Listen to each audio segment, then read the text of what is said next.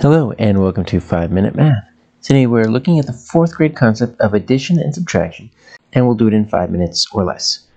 So we've been adding for multiple years now. We've even seen decimals before in the form of money in third grade. But really what we're looking for in fourth grade is kind of the final step in adding and subtracting decimals. And we're going to look at what happens when you are trying to, we'll start with addition add numbers that do not all go to the same decimal place. So right now you've got three different numbers on the screen, 3 and 4 tenths, 42 and 48 hundredths, and 97. The key is to always line up the decimal. And what's going to happen is you're going to have some digits kind of sticking out, hanging out in space, and that's perfectly fine. So we're going to use this 3.4. So I'm just going to line up the 42.8 so what that means is that 42.48, excuse me, is going to line up right there. Because you see, here's my ones place, and this is my tenths place. And then this is my hundredths place right here. And so even though there is an 8 in the hundredths place sticking out all by itself, there's a 4 in the tens place sticking out all by itself, that's perfectly fine. The biggest problem now is going to be what do we do with this 97? Where do we put 97? Well, let's look at it. This is the ones place, and this is the tens place.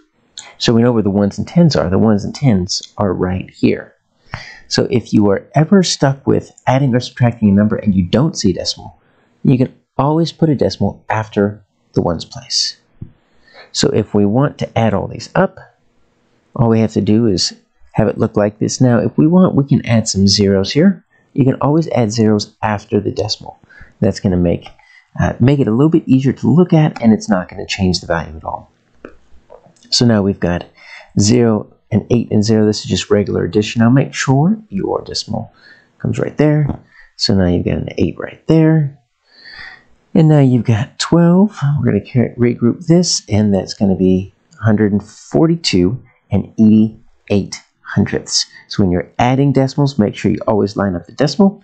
Let's see what happens when we try to subtract decimals.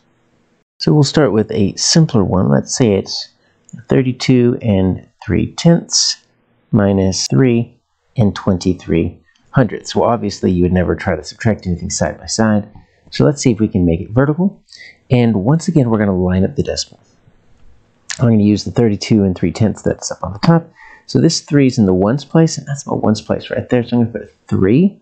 This 2 is in the tenths. There's my tenths right there. So now I've got a 3 in the hundredths place. I get rid of that.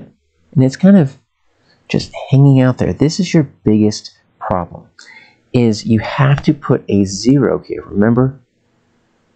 Like we did when we were doing the addition. You can change the 3 tenths into 30 hundredths. Because now, this is something we know how to do we know that we have to regroup from the three tenths, make it two tenths, and then break that up into ten hundredths. If you don't do that, if you just do something like this, if you just try to do 32 and 3 tenths minus 3.23, a common mistake I see is that you would just say 0 minus 3, well that's just 3. But that's incorrect. Because you have to put a 0 there. If you put a 0 there, well now we know that we have to regroup and it's going to be 7. So everything else kind of works itself out. It's just the same as regular subtraction. You just have to make sure that you are putting that 0 in that hundredths place so you can subtract 3 from the 0 and that forces you to regroup. So let's look at one final one. Uh, 97 minus, uh, 42 and 68 hundredths. Well, just like last time, we are going to line up the decimal, and we don't have a decimal. So remember, you can always put a decimal after the hundredths place. I'm going to write it like this.